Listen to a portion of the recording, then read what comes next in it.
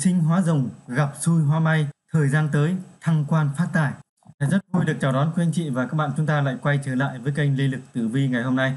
Lời đầu tiên thay mặt những người làm chương trình xin được gửi tới quý anh chị và các bạn lời kính chúc sức khỏe, chúc quý anh chị có những ngày mới luôn vui vẻ, bình an và gặp nhiều may mắn.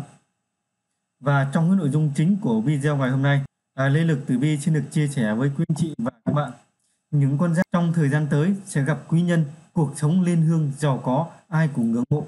Vậy thì đấy là những con giáp nào và vì sao những con giáp này lại may mắn đến như vậy và liệu rằng chúng ta có nằm trong số những con giáp này hay không?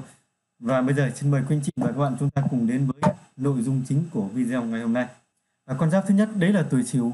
Và trong số 12 con giáp, tuổi Sửu là người chăm chỉ và có chính kiến trong cuộc sống. Tuy nhiên, người tuổi chiếu cũng là người có nhiều tham vọng và dám theo đuổi mơ ước của mình. Trong thời gian tới, con giáp này vốn mang phúc khí nhưng bản thân họ cũng cố gắng và nỗ lực không ngừng nghỉ để có được những gì mình muốn bằng chính cái năng lực của bản thân. Trên con đường sự nghiệp của tuổi Sửu, càng đi càng hanh thông, mọi thứ đều như ý muốn. Và tuổi thứ hai đấy là tuổi thân. Trời sinh những người tuổi thân đều vô cùng thông minh, có bản lĩnh trong cuộc sống.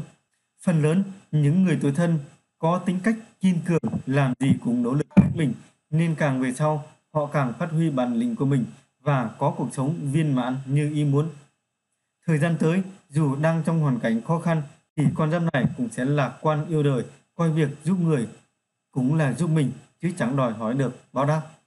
Những người tuổi thân sẽ có cuộc đời vô cùng vinh hoa phú quý, cuộc sống may mắn muốn gì được nấy. Và con giáp thứ ba đấy là con giáp tuổi ngọ.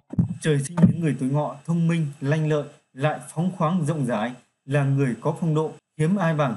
Những người tuổi ngọ phần lớn đều có tinh thần lạc quan của con giáp, khiến cho dù là nghịch cảnh thì cũng không hề nao núng, sẵn sàng chiến đấu để vượt qua thử thách. Và trong thời gian tới thì những người tuổi ngọ cũng dễ được mọi người yêu mến, nhân duyên cực vượng. Họ sẽ có cuộc sống vô cùng thành công, viên mãn, khiến ai cũng phải ghen tị. À, quý anh chị thân mến, trên đây đấy là ba con giáp trong thời gian tới sẽ gặp quý nhân, cuộc sống lên hương giàu có, ai cũng phải ngưỡng mộ. Gặp xui hoa may, thời gian tới sẽ thăng quan phát tài. À, quý vị thân mến, tuy nhiên thì những cái thông tin này cũng mang cái tính chất là tham khảo, không phải ai cũng thành công và trở nên giàu có, công thành danh toại chỉ nhờ vào cái bản lĩnh của mình.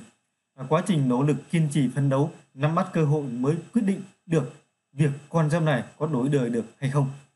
Vì vậy mà những cái thông tin mà chúng tôi đưa ra ở đây cũng mang cái tính chất là tham khảo, chiêm nghiệm. Và cũng xin được cảm ơn quý anh chị đã theo dõi video của chúng tôi. Nếu có bất kỳ băn khoăn, thắc mắc hay là muốn tư vấn riêng về tuổi của mình thì quý anh chị hãy vui lòng ghi rõ rồi để lại lời bình luận bên dưới của video. Và ban biên tập sẽ phản hồi lại các bạn trong cái thời gian sớm nhất.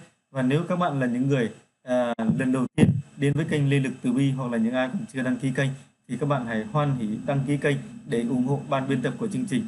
Sau đó hãy nhấn vào tín hiệu chuông ở phía bên dưới để không bỏ lỡ những thông báo mới khi có video mới nhất và hay nhất từ ban biên tập. À, cuối cùng xin được chúc quý anh chị và các bạn có những ngày tháng luôn vui vẻ, bình an và gặp nhiều may mắn. Xin chào tạm biệt và hẹn gặp lại quý vị trong những video tiếp theo của chúng tôi.